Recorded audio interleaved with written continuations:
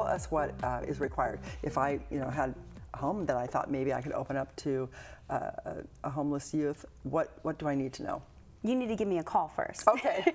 give me a call so that I can tell you all about this program because you're not expected to have much. You need to have a safe home. Um, the kids have to, they need to have their own bed. Mm -hmm. So it doesn't even mean that they need their own bedroom. They oh, need their wow. own bed. And you're not placed with a student. Um, it's not like a foster program where you, you just get whatever they give you.